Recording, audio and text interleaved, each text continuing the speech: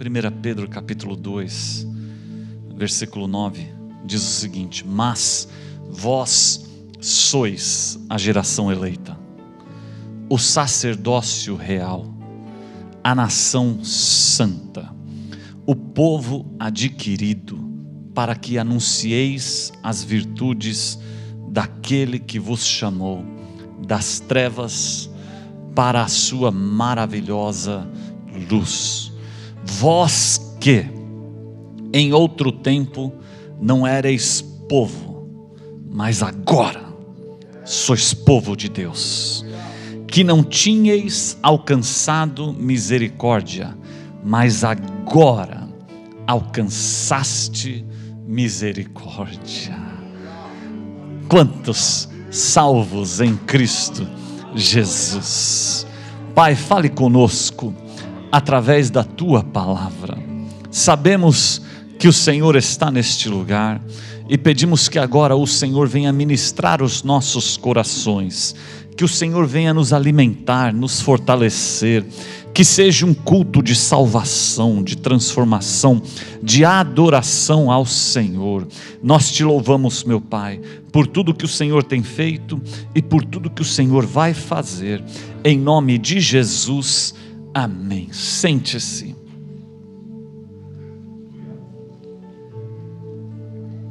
Nós temos ministrado sobre a presença do Evangelho. Temos ministrado no mês de janeiro, mês de fevereiro, sobre a presença do Evangelho em tempestades, a presença do Evangelho nas nossas casas, e hoje eu quero falar sobre a presença do Evangelho na igreja local, a presença do Evangelho na igreja local. Qual que é o propósito da igreja local? Por que, que uma igreja é necessária em uma cidade, em um local? Para que que existe igreja? Por que, que nós nos reunimos semana após semana nestes quatro, dentro destas quatro paredes? Para que que a gente vem à igreja? Existe igreja para nós nos ajuntarmos e fazermos aqui aquilo que deveríamos estar fazendo a sós, em nossa casa. A igreja existe para os santos se agruparem uma, duas, três vezes por semana para juntos adorarmos a Deus. Dá um amém. A igreja existe e a finalidade da igreja chama-se adoração. Adoração é o fim de tudo e de todas as coisas. Quando nós subirmos no céu, não vai ter pregação, não vai ter salvação, não vai ter conversão, não vai ter escola dominical, não vai ter estudo da palavra, não vai ter cura, não vai ter milagre. A única coisa que vai acontecer no céu chama-se adoração ao Senhor. E o que nós fazemos aqui é o ensaio daquilo que nós vamos fazer no céu quando nos encontrarmos com o Senhor. O propósito, o fim de tudo, de todas as coisas na vida de um crente chama-se adoração tudo que Cristo fez no passado, que Ele faz hoje e que Ele vai continuar fazendo no futuro, tem que nos levar a adorá-lo na beleza da tua santidade.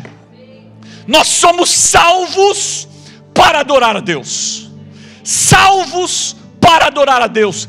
Eu fui salvo para adorar, você foi salvo para adorar. Os salvos se reúnem na igreja para adorar a Deus. Se você é salvo, será que você pode levantar a sua mão por alguns segundos e dizer a Ele que você o adora na beleza da tua santidade?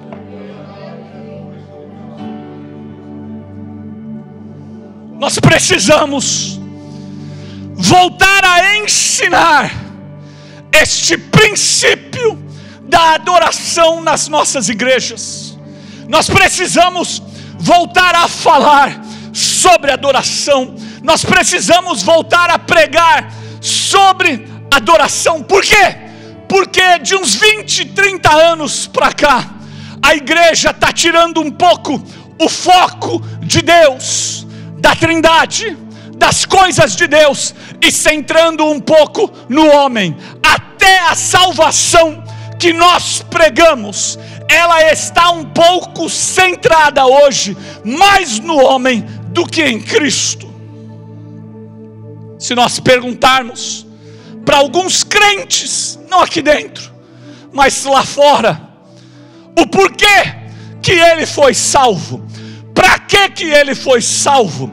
A resposta vai ser centrada nele a resposta vai ser centrada na necessidade dele. Eu fui salvo para ser liberto do vício, das drogas. Eu fui salvo para a restauração do meu casamento. Eu fui salvo para uma porta aberta. Eu fui salvo para uma bênção financeira. Eu fui salvo para receber uma cura. Eu fui salvo para que Deus fizesse isso ou aquilo na minha vida. E muitos de nós hoje estamos centrando a salvação em nós. Agora presta atenção, não estou pregando contra isto, por quê? Porque eu creio no poder do Evangelho que salva, que cura, que liberta, que batiza, que opera, que faz milagres. Eu creio em um poder do Evangelho que tira um camarada da droga e coloca ele sentado para reinar com Cristo Jesus. Eu creio em tudo isso daí. Há tanto que no Novo Testamento, durante o ministério de Cristo, se você ler, você vai perceber de que várias pessoas eles chegaram até Cristo por vários motivos e motivos pessoais. Você vai perceber de que algumas pessoas chegaram por causa da sua necessidade. Teve um pai que chegou diante de Cristo porque o seu filho estava doente. Teve uma mãe que chegou diante de Cristo porque a sua filha estava doente. Teve um homem chamado Zaqueu que subiu em uma árvore para chamar a atenção de Cristo porque o seu coração estava doente.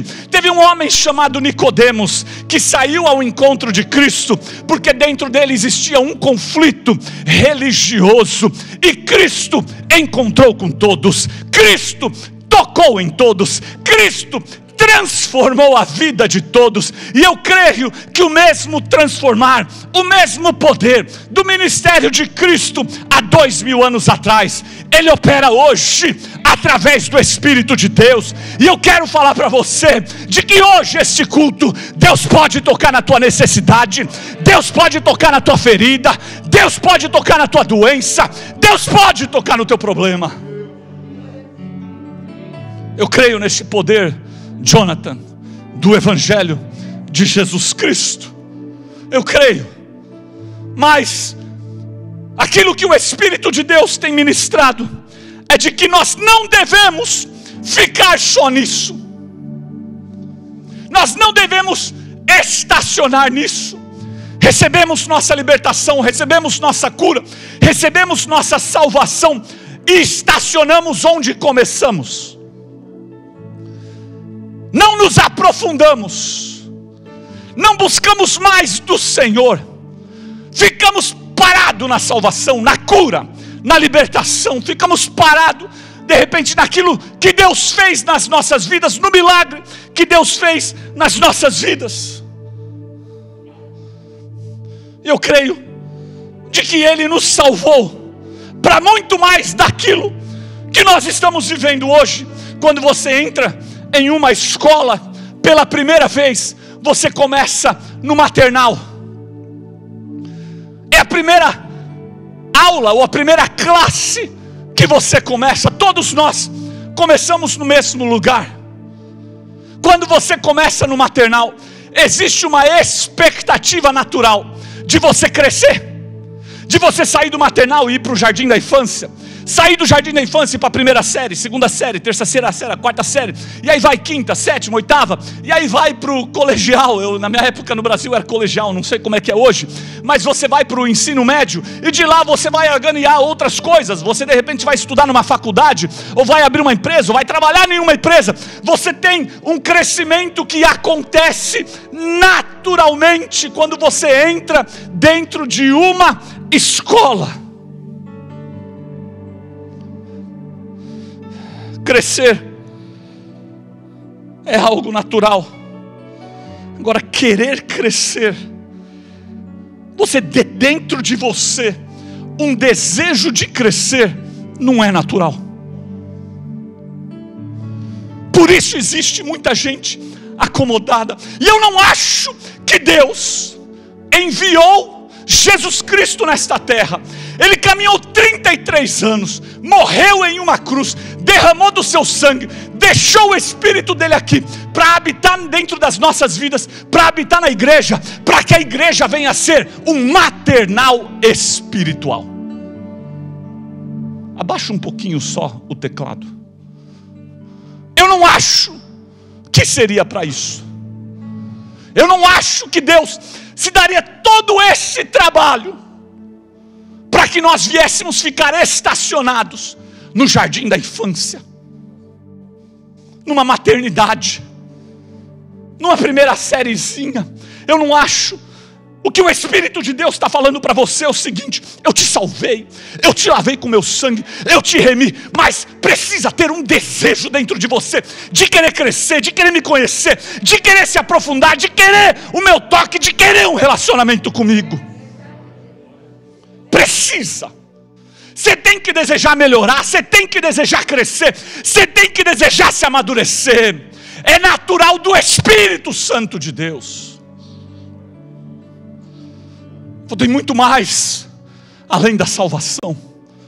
Olha só o que, que Pedro fala em 1 Pedro capítulo 2, versículo 2: Desejai afetuosamente como meninos novamente nascidos, o leite racional não falsificado, para que por ele vades crescendo. Desejai para que vades crescendo. Você sabia o que, que o Espírito de Deus ministrou dentro de mim?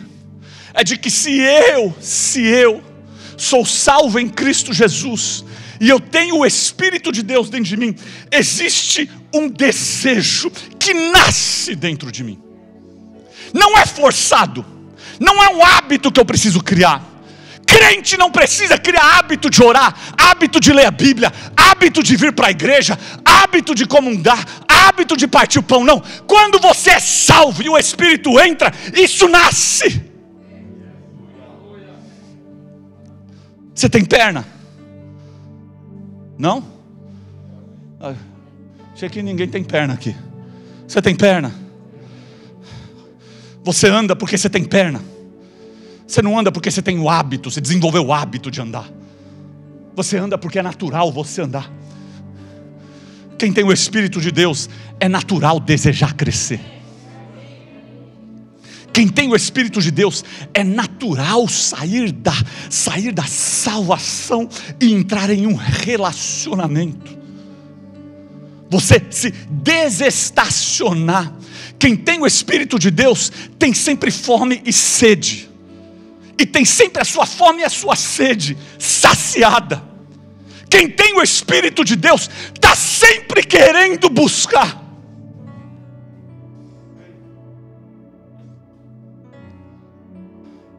Agora presta atenção. Algumas coisas têm que acontecer na sua conversão antes do desejo nascer. Você viu o que, que Pedro escreveu no versículo 1 antes do versículo 2? O versículo 2 fala sobre desejai. O versículo 1 fala assim: deixando, pois, toda malícia e todo engano e fingimento, e invejas e todas as murmurações, aí desejai. Antes de você desejar, você precisa deixar. Deixar o que, pastor? Fingimento, murmuração, malícia, fofoca, diz que me diz, blá blá blá, nhé nhé nhé, mimimi, está aqui falando, deixando, pois, toda malícia. O Espírito de Deus, através do poder do Evangelho, ele te salva, mas ele te dá uma ordem. Antes de você desejar ser espiritual, você vai primeiro ter que deixar. Por quê? Porque tem gente que quer desejar ser espiritual, sendo malicioso, sendo fingido, sendo carnal, sendo, sendo murmurador, sendo fofoqueiro, divisor. E Paulo, Pedro aqui está falando: não tem como. Primeiro você deixa. Como é que eu deixo? É o Evangelho. Mas tem que ter uma atitude tua, para depois você desejar. Não tem como as duas coisas acontecer. Não tem como eu desejar um relacionamento com o Senhor, eu desejar crescer no Senhor, sendo uma pessoa carnal. Paulo, quando escreveu uma carta à igreja de Corinto, lá em 1 ou 2 Corinto, no capítulo 2 ou capítulo 3, ele fala com aqueles irmãos em Cristo Jesus, de que eles eram carnais, porque uns gostavam de Apolo, outros gostavam de Paulo.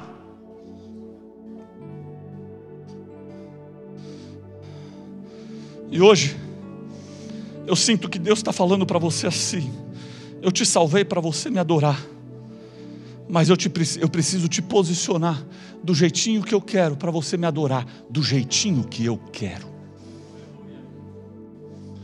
Ah, como é que eu desejo? Como é que eu faço isso? É simples. Eu acho, eu acho não. Eu sei que o evangelho é simples. O Evangelho não é complicado, quem complica somos nós.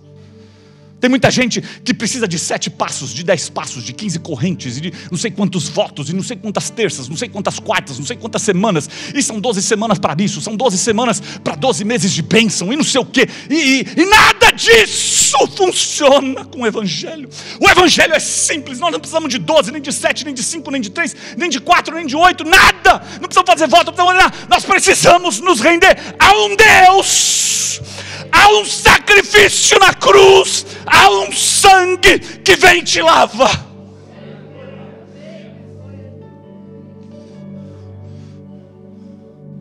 Aí ele vem e te salva. Ele vem e te salva. Ele vem e te coloca em uma posição salva. Aí ele fala para você assim: presta atenção. Agora você precisa começar a tomar algumas atitudes. Eu preciso te colocar em uma posição onde você vai me desejar. Mas o meu evangelho primeiro vai ter que te limpar.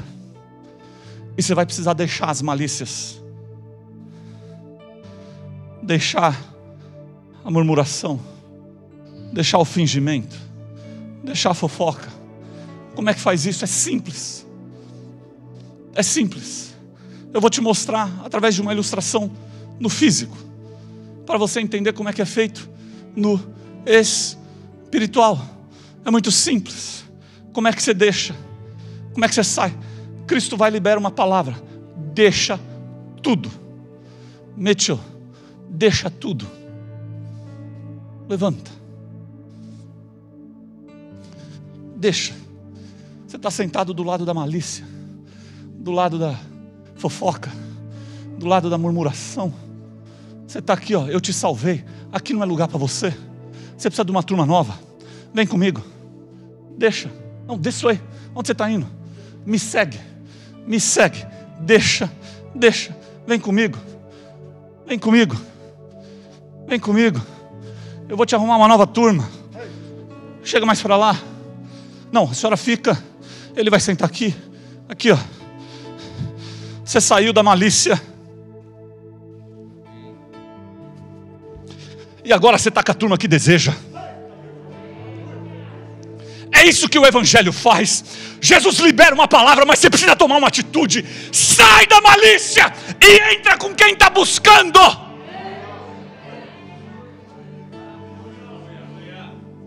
Sai da fofoca e entra com a busca. sai do blá blá blá e entra para a língua estranha.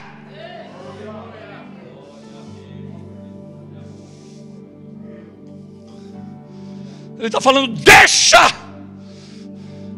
toda malícia, não tem como você ser salvo e ficar ali. O meu espírito vai te incomodar de um jeito se você é templo do meu espírito. Aonde você vai levantar e obedecer a minha voz e passar a andar com santos, salvos, lavados, remidos, cheio do Espírito Santo.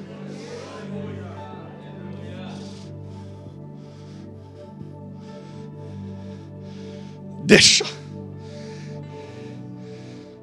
Pastor, quero ser um adorador. Primeira decisão. Você é crente, sou crente. Não estou falando para você que aqui você, você vai automaticamente para o inferno. Uh -uh. Eu, eu, eu não estou falando, não tô falando isso. Você pode até, na misericórdia, na graça, é, chegar no céu, se arrastando.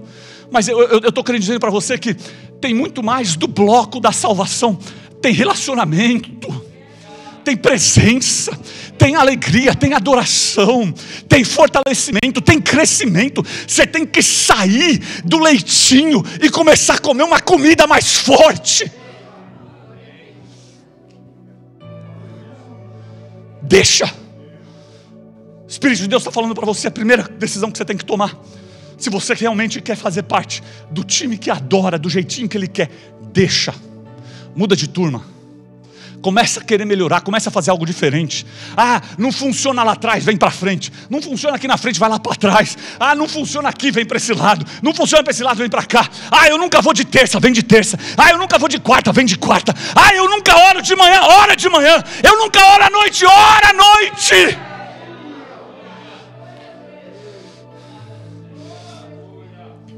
Aqui não tem desejo. Aqui só tem misericórdia, graça ah, é suficiente, é suficiente, mas aqui tem desejo. Que lindo! Você passar a ter desejo. Desejo. O que, que o Espírito de Deus está falando para você hoje? Jesus morreu na cruz por você, mimico, para você crescer em adoração para Adriana crescer em adoração, para o Robinho crescer em adoração, para Maria Clara com Guilherme crescerem em adoração, para Isênia crescer em adoração, para Mariluza e o Ivan crescerem em adoração. Você viu o que, que ele falou ali no capítulo 9, no versículo 9 do capítulo 2 de Pedro? Ele nos tirou das trevas para a sua maravilhosa luz. Ele te tira de uma condenação e te coloca em uma luz maravilhosa. Para quê? Para que você venha adorá-lo sem nenhum tipo de confusão. Salmos capítulo 45, versículo 11, a Bíblia fala assim: Ele é teu Senhor, obedece-lhe. Ele é teu Senhor, obedece-lhe. Você sabe que a obediência é adoração. E se você for para o original desta palavra obedecer, neste versículo, você vai ver que essa palavra significa: Ele é teu Senhor, se inclina a Ele, se prostra entre a Ele, adore a Ele. Agora presta atenção, que até quando o Senhor estava ministrando esta mensagem na minha vida, Ele me corrigiu em algumas coisas, por quê? Porque quando Ele começou a falar sobre adoração, eu centrei a adoração em mim, eu falei, Senhor, nós vamos adorar para quê? Porque a gente quer resultado. E o Senhor falou para mim: se você simplesmente adora, não para quê, mas pelo que eu já fiz. E o que eu já fiz é suficiente. Se eu não fizer mais nada na tua vida, já é motivo suficiente para você me adorar. Não tem para quê. Tem o que ele já fez. E muitas vezes a gente fica assim, adora, porque na adoração ele move, na adoração ele abre a porta, na adoração ele faz. Não, você adora porque ele é Deus. Você adora porque ele é Deus. E o Espírito de Deus falou para mim: adoração é propósito e é propósito do Evangelho.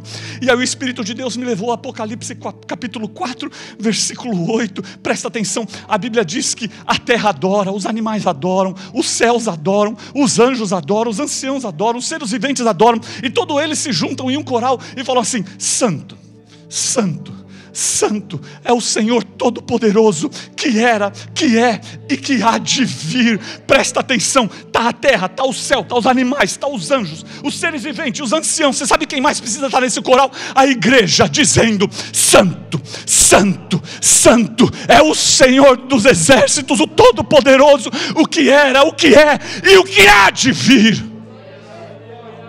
Será que você pode falar para Ele?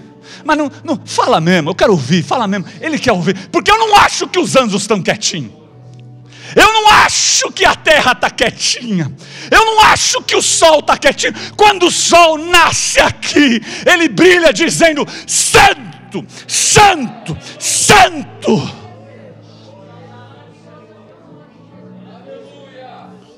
Santo, Santo, Santo santo, santo, santo, santo, santo. Você só consegue falar santo se o Espírito Santo estiver dentro de você.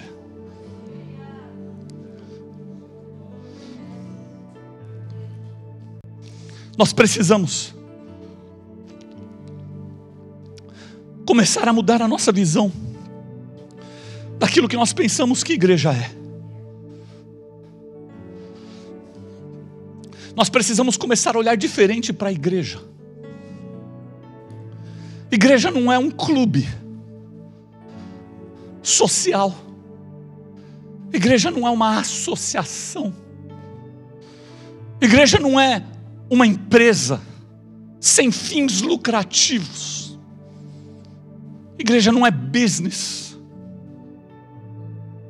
Ainda que eu sei que existe um aspecto social da igreja, onde nós ajudamos, fazemos, mas igreja não é isso. O que, que é igreja? Quem somos nós? É o que nós lemos em 1 Pedro capítulo 2, versículo 9. Nós somos a geração eleita, o sacerdócio real, a nação santa, o povo adquirido que, é a igreja aqui nesta terra? Geração eleita, sacerdócio real, nação santa, povo adquirido.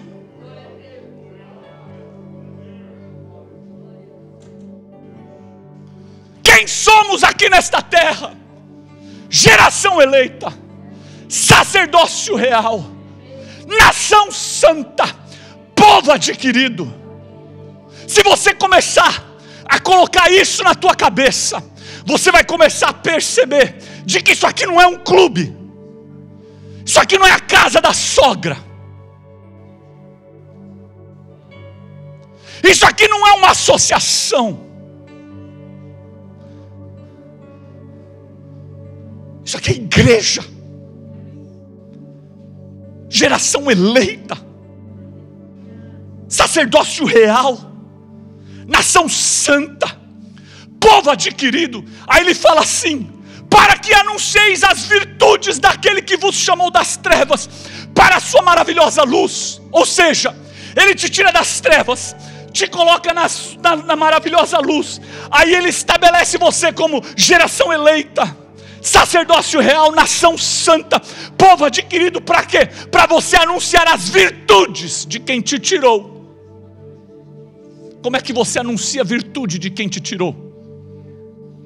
Ele não está falando para anunciar o que ele fez na tua vida, ele está falando para anunciar as virtudes de quem te tirou. Você sabe como é que você anuncia a virtude de quem te tirou? Adoração. Por quê? Porque antes você era um viciado, as tuas mãos estavam presas, você tinha os teus problemas, de repente Ele te tira das trevas para a Sua maravilhosa luz. Aí você sabe como é que você anuncia? Você não precisa falar nada, é só você se render em adoração. Porque antes você não conseguia fazer isso aqui. Hoje, por causa do poder do Evangelho, você levanta as tuas mãos e adora ao Senhor. Anunciar as virtudes.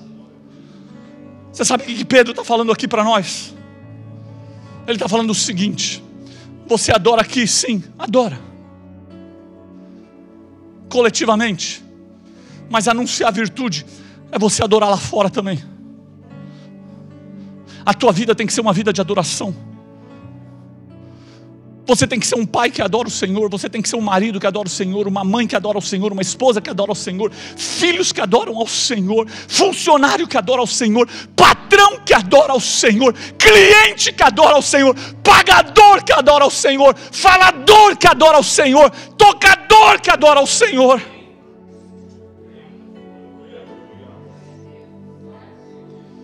Como é que eu sei se você saiu das trevas e foi para a maravilhosa luz? É através das suas ações e das suas atitudes. Você sabe por quê? Vou falar um negócio muito sério para você agora. Muito sério. Se a tua vida não anunciar as virtudes de Deus que te tirou das trevas para a sua maravilhosa luz, você está falhando com Deus, com Cristo, com o Espírito Santo, com a igreja com a tua família, com os teus filhos e com a geração que está vindo.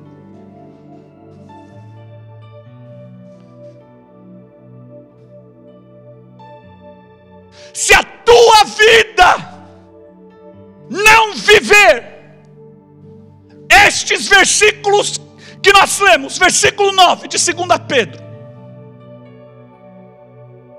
se você não for geração eleita, sacerdócio real, nação santa, povo adquirido, que anuncia as virtudes de quem te tirou das trevas para a sua maravilhosa luz. Você está falhando com Deus, com Cristo, com o Espírito Santo, com a igreja, com a tua família, com os teus filhos e com a geração que está vindo.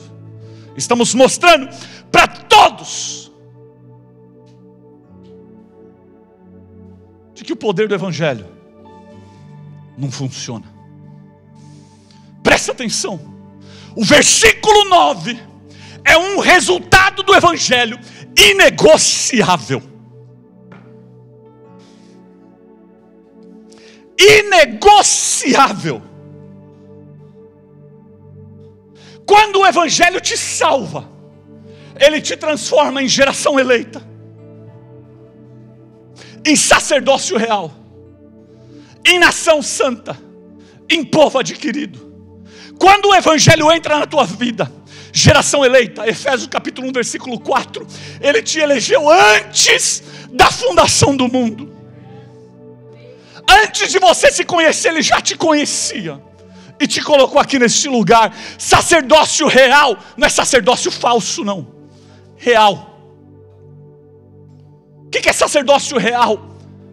O Evangelho te coloca como uma, uma pessoa que sabe adorar, que sabe sacrificar, que sabe servir ao Senhor, que faz do jeitinho que Ele quer. Geração eleita, sacerdócio real, nação santa, separada do mundo, que age diferente, que pensa diferente irrepreensível, povo adquirido, comprado, lavado, remido pelo sangue exclusivo de Deus. Nós somos propriedades exclusivas de Deus. Ele não negocia isso, Jonathan. É inegociável.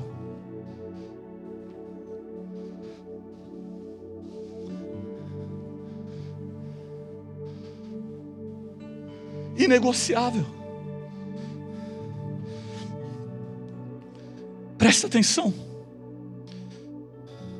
Se, como crentes, este versículo não for uma realidade nas nossas vidas, presta atenção no que eu vou te falar. Se, como crente, esse versículo não for uma realidade na nossa vida, nós não somos nascidos de novo. Não tem novo nascimento. Você é um religioso, você é um frequentador de igreja, você é de repente um obreiro, faz parte de um ministério, mas se este versículo não for uma realidade nas nossas vidas, nós não somos nascidos de novo. Porque ele é muito claro, é das trevas para a maravilhosa luz, não tem meio termo. E ele estabelece quem nós somos nesta luz. E o que, que nós fazemos nesta luz. E ele não negocia este resultado. Agora, tem muita gente que está vivendo uma tragédia espiritual. Você sabe o que é uma tragédia espiritual? É você ser um vaso quebrado. Um vaso quebrado que não consegue viver os propósitos de Deus, porque está cheio de rachado, está sentado na malícia, no mimimi, no blá blá blá, no fingimento, na fofoca, e não consegue viver os propósitos. Porque a Bíblia me diz que o poder do Evangelho me coloca na mão do oleiro. E aí ele me quebra e me faz de novo como um vaso. Só que ele não me deixa um vaso vazio. Ele me preenche e me adorna com os lírios dos vales, do vale, com a rosa de Sarum, para que eu venha exalar o bom cheiro de Cristo. Todo crente que é cheio do Espírito Santo tem que exalar o cheiro de Cristo. Todo vaso que se preza na obra do Senhor tem que produzir perfume de Cristo.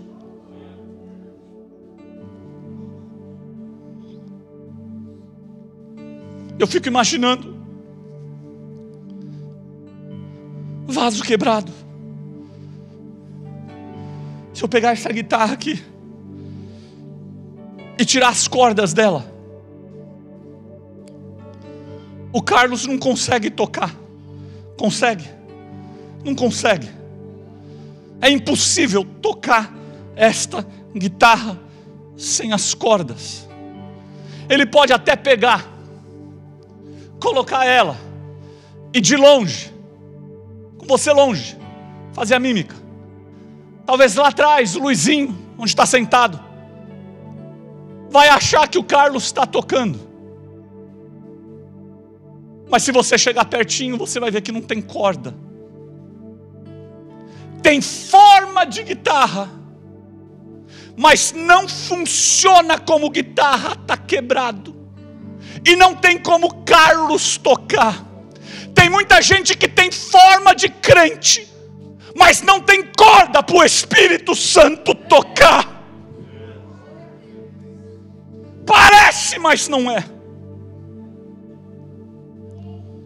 se veste igual crente, coloca a biblinha debaixo do braço, vem para a igreja, dá a paz do Senhor, mas não tem corda, não tem Espírito de Deus tocando, não tem nada disso. Jesus Cristo, Ele ministrou um pouquinho sobre essa questão do vaso quebrado. Jesus Cristo, ele tinha saído de Jerusalém, estava caminhando, estava viajando em direção a um templo. E a Bíblia diz que nesta viagem ele sentiu fome. E ele viu de longe uma figueira com folhas. E ele chegou perto daquela figueira. Daquela figueira e colocou a mão naquela figueira para procurar frutos e não achou. Não achou fruto naquela figueira. E a Bíblia diz de que Cristo amaldiçoou aquela figueira.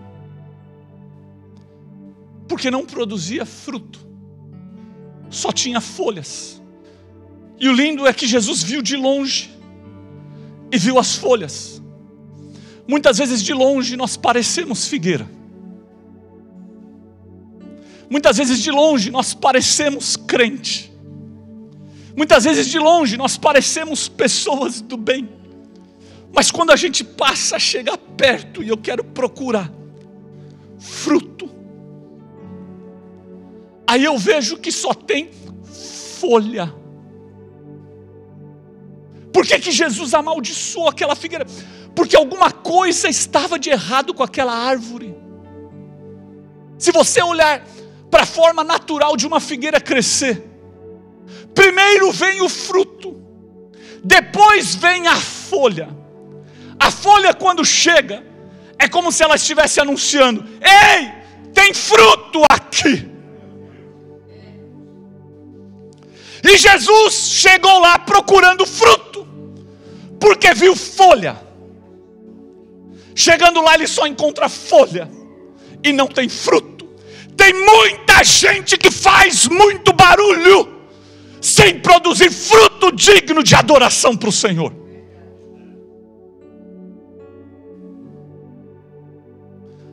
Parece figueira, mas não é. Parece que tem, mas não é. E você sabe o que é interessante? É que a Bíblia diz que Jesus teve fome e foi até a figueira. Você sabe o que é Jesus ter fome até a figueira? É ter vontade de ter um relacionamento com a sua igreja. Só que ele chega lá e ele encontra folha. Jonathan, você sabe o que a folha sem fruto significa?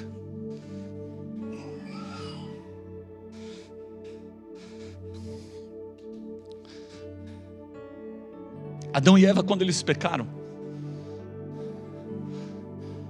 a Bíblia diz que logo depois que eles comeram do fruto proibido, eles olharam para eles e descobriram que eles estavam nus. Pecado. Aí você sabe o que, que eles fizeram para cobrir o pecado? Eles pegaram folhas. Folha sem fruto cobre pecado. Parece, mas não é. Tem forma de crente, mas não é. Parece santo, mas não é. E hoje Ele está falando para você que Ele quer te alinhar para adorá-lo em espírito e em verdade. Não estou falando de talento. Não estou falando do grupo de louvor. Não estou aqui antes que falem né, atacando o grupo de louvor. Não estou mexendo com cantor. Não estou mexendo com músico. Não estou mexendo com nada disso. Eu estou falando que todos nós fomos salvos para adorar. Salvos para adorar. Pastor, tá bom. O que, que nós devemos fazer então?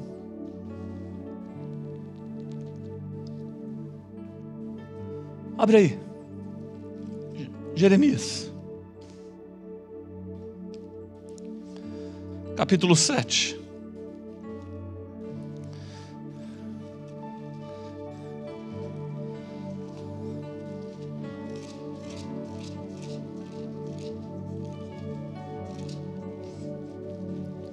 Versículo 3. Jeremias 7, 3.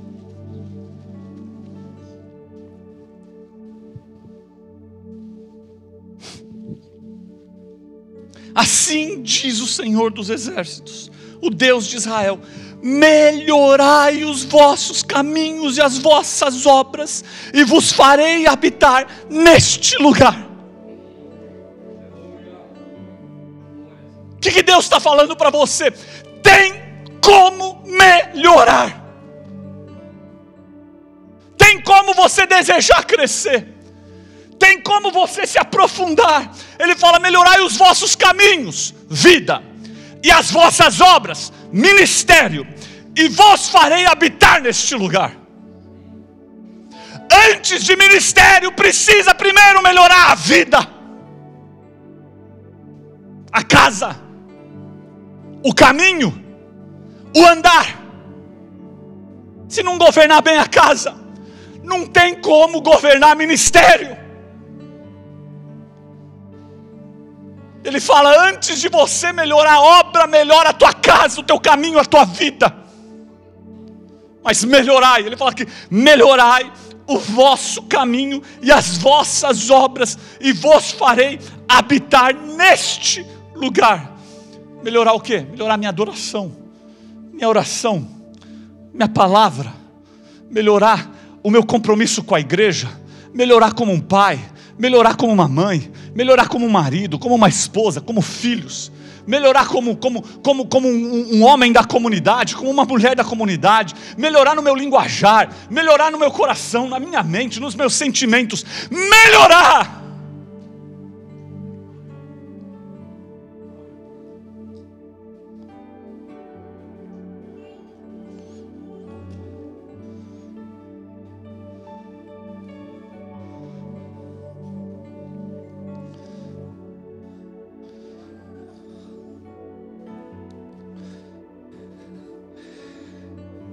Perguntei para o Senhor, porque é natural a gente perguntar isso.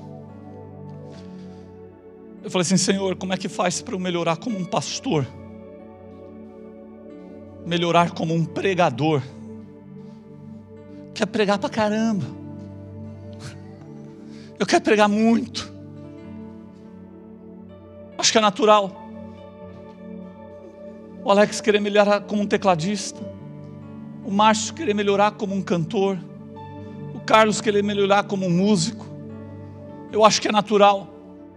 Todos nós queremos melhorar.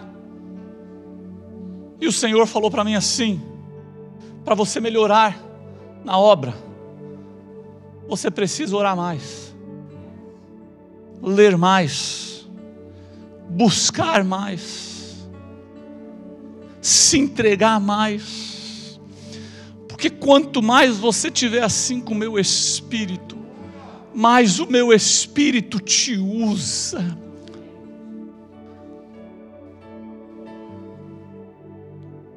Nós botamos muita ênfase em talento. Se chegar aqui um irmão que toca muito, nós vamos agarrar ele com unhas e dentes, para colocar ele em cima desse púlpito chegar um cantor que canta muito, um pregador que prega muito, nós vamos agarrar ele com unhas e dentes. E não que Deus não usa essas pessoas, usa. Sim.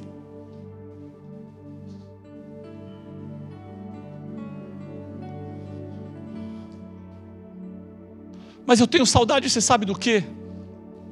Nós temos alguns aqui ainda. Os irmãos simples canela de fogo. Tem uns remanescentes daqui ainda, né, irmã Lúcia? Mas é Carlos. Sabe aquele irmãozinho que tem nem escola, que vem para confundir príncipes na mão de Deus.